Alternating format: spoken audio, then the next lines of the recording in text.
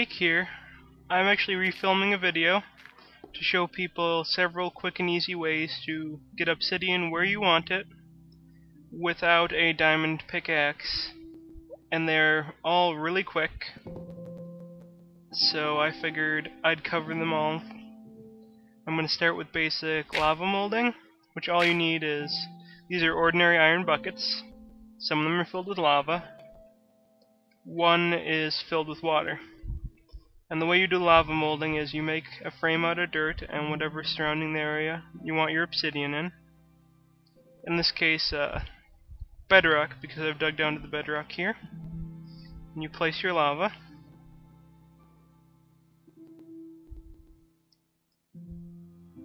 And then you grab your water and you pour water on it. Now if you're lagging really bad because you're filming a video, it may be a little harder to pick up the water afterwards, but no worries there, I'll still be able to grab it, no problem. Um, another method, which, like I said, I'm lagging pretty hard, so it might be a little more difficult than usual, is you can actually place the bucket anywhere next to where you want lava, and then just sneak up on it, place the lava down. There's actually no risk that's going to burn you because the lava instantly turns into obsidian that way. Right.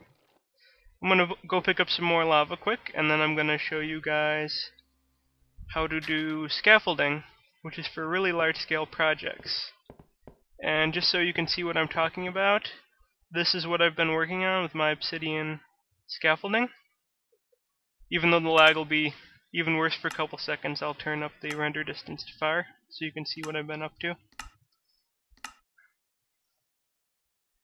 And I'm going to let this wall render. yeah, so that's what I've been working on. I'm going to make an obsidian tower from the bedrock to the very top of the map. And it should be really interesting looking and fun. But it will take me a while. Let's I need to really get on that. Alright, so I'm going to grab some more lava and head up to my scaffolding to show you how that works. Hey, Cake again. I'm actually having to refilm because my microphone cut out for some reason. But no worries. I figured before I head it back up to my scaffolding I'd show you all how I gather lava. Which is... I take my iron buckets, hold shift, always hold shift near lava, and I scoop up lava and with the way the fluid mechanics work fake lava starts flowing in you can't pick up so I'll just fill it with dirt. And that will let me know where there's still lava because like I said the fake lava it's kinda hard to tell the difference if the regular lava is flowing. And this way I can just use this to gather a lot of lava at once without risking falling in as much and without having to guess where the real lava is. Alright, I'm going to head up to my scaffolding again. Here we are up top in scaffolding. As you can see, I've built this two away from where we want the obsidian because we will need the water one away. And I put this nice little dirt frame around here because it's easy to knock down and it keeps it nice and contained and easy to work with. And once you're done with this little section you can just knock it down make it over there. It takes no time at all. Right heading down we want to get enough out of the waterfall that we can still breathe. So we're definitely still in the waterfall.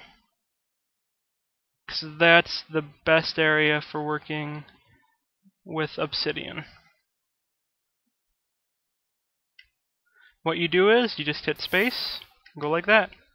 You can do it just as fast as the old method.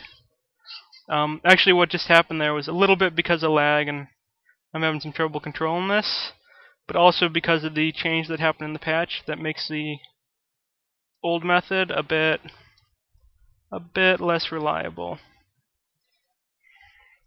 Alright with the old method, which if you check out the video, which I've linked to here and made private otherwise because it's funny, but I don't want anyone searching and finding it and accidentally killing themselves.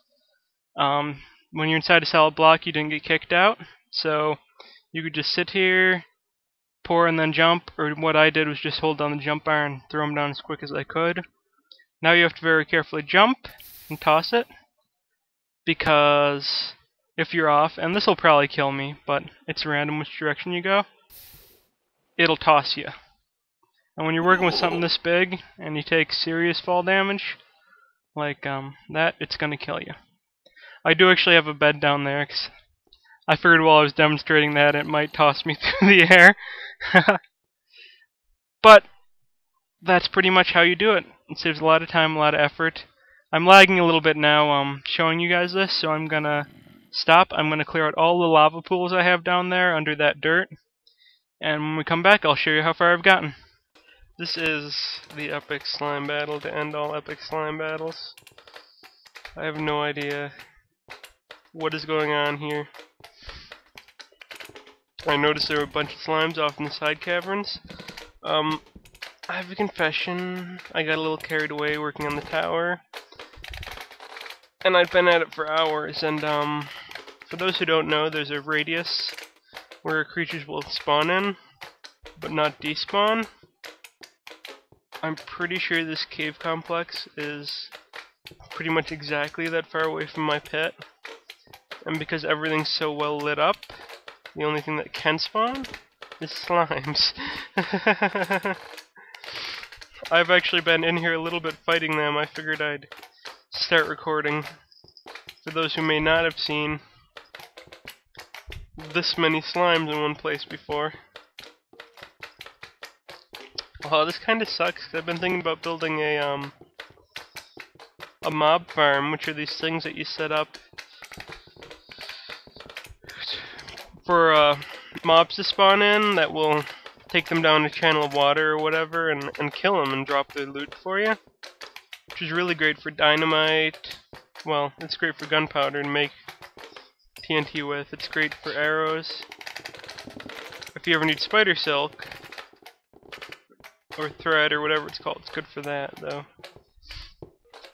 Past a certain point, you usually don't need it but th those are really, really cool, and I thought to myself, hey, I'll clear out all these caves, I'll make one. I'm thinking sooner or later these slimes are going to end up, uh,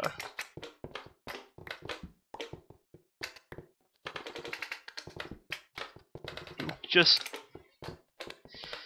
there'll be too many of them for other creatures to spawn if I stay in this place for too long at once. Because apparently they like to stick around. This is fun though. Uh, and I've been at this forever, and I'm only down to half life. These guys are kind of pathetic sad. The first time I ever saw a slime, it kicked my butt, but... Honestly, all you need is your fist out and hold down the button, and you'll knock them away fast enough that they won't have a chance to hit you.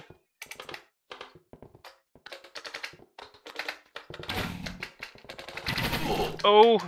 Oh! Skeleton! Skeleton! No!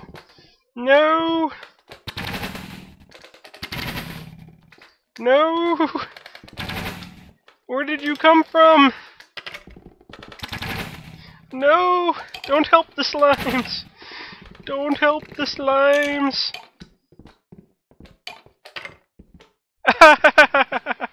oh, oh, what happened? Oh. Oh yeah. Cake is a badass.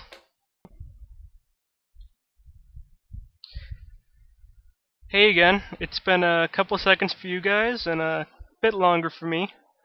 I think you can probably guess that this is more obsidian than I could get from the lava just in this pit. I went a little bit into the surrounding areas. I got a little carried away, but uh, I'm about a quarter of the way done now, which is pretty cool you can see I actually went out of my way to make sure the bottom level here was finished at least a little bit. I'm just going to keep going up until the next level is done and the next and the next because I want uh, I didn't want this just to be a huge boring wall all the way to the top and then have nothing here but the exposed wall. I want to really start to work on it, get the stairs going, make it really nice looking for y'all. Uh, the trees down here are not permanent, they are temporary. I am demolishing that floating house up there which has my tree farm next to it. So this will go straight up to the sky. And I really need the wood though. I need a whole bunch of different kinds of wood. So I started this down here and as soon as I get the wood I need and start my new storage area and tree farm, this will all be gone. I'm going to make something really amazing in the center. And from both of these doors, this new one, which is quite happy, blue wool with glowstone above where you can see it, which gives a really nice glowy lighting effect at night. And the angry one way over here, which you saw earlier this video, I think. They're both going to have something cool behind them. The stairs are going to go up around to storage room and a laboratory. And I'm I have so much stuff I want to do. I wish I could just spend 24/7 on this, knock out these videos because I I've been thinking of this really cool stuff. I did testing to make sure I could do it. I can do it, but it all takes so much work to set up. I'm really looking forward to showing it all to you guys. I'm going to cut out, go to, to short viewing distance so it's not quite as laggy, and I'm going to show you guys what I've been up to upstairs before I end the video. This is Cake. One last thing. I did say in my last no longer publicly searchable because it's horribly awkward video that I was going to make a working automatically resetting itself day-night redstone clock and this is the basic mechanism that'll make that happen. This is something I invented myself.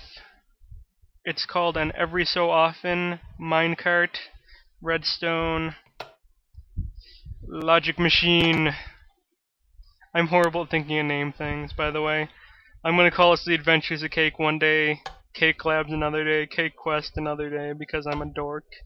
And I won't even remember what I said the week before. um, as you can see though, as long as the carts are both going around, which they keep doing as long as something hits this every 30 seconds, it stays on that torch, which is the it's nighttime torch. The other one is it's the it's daytime torch the way we make this work.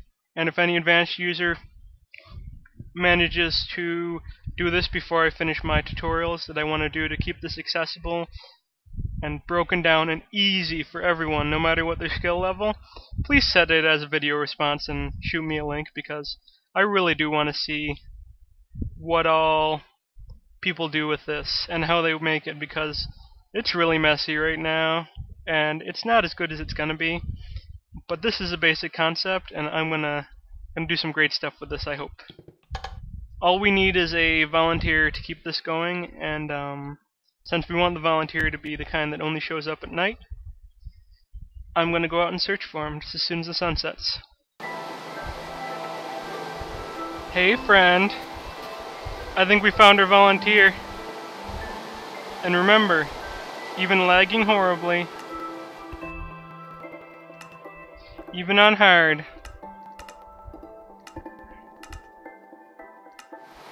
Cake is a badass.